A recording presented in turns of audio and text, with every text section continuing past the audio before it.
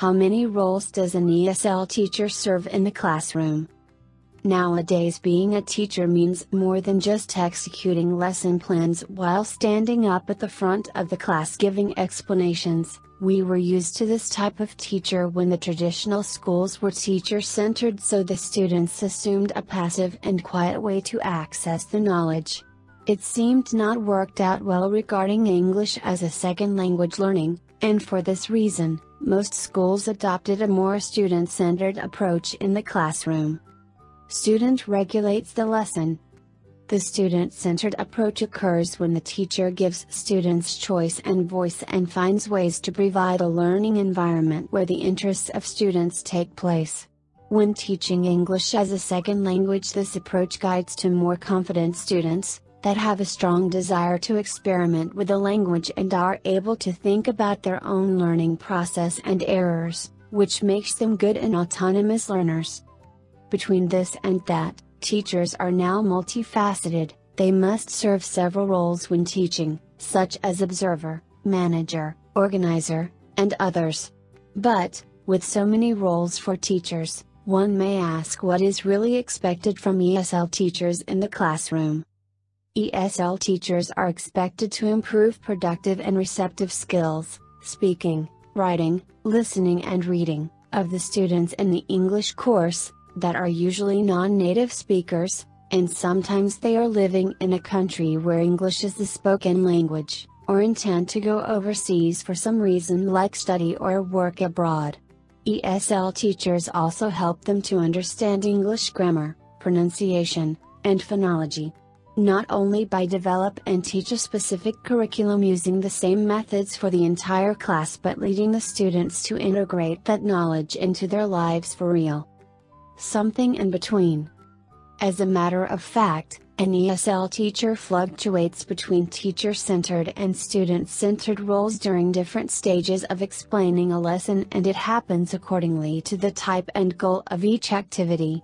Teachers serve many different roles while teaching controller, organizer, assessor, prompter, participant, tutor, facilitator, role model, and observer teacher stands in front of the class. When the teacher is standing up in front of the class and it looks like a lecture, where every student is listening quietly to some subject, this probably is the role of a controller. It takes place when it is necessary to explain some point carefully, to read aloud, to be effectively in charge of the class. Teacher organizes the students, Occasionally the teacher must organize the students into groups or pairs, give instructions, lead an activity to a close, organize feedback. The role of the organizer is one of the most important roles of an ESL teacher. Teachers set the tone of their classrooms and build a warm environment while providing the necessary support, evaluating, grading and giving feedback to the students in a sensitive and clear way. The role of the assessor is important because the students always need to find out how their learning process is going and what can they do to improve their skills.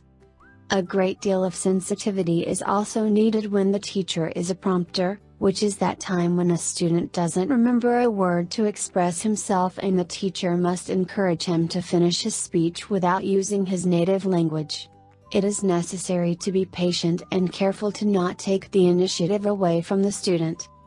It's important to propose games and activities that encourage students to speak in English and exchange ideas with their colleagues during the class. Sometimes teachers might find an uneven number of students so they can be a participant and be part of the pair work or group activity as an equal.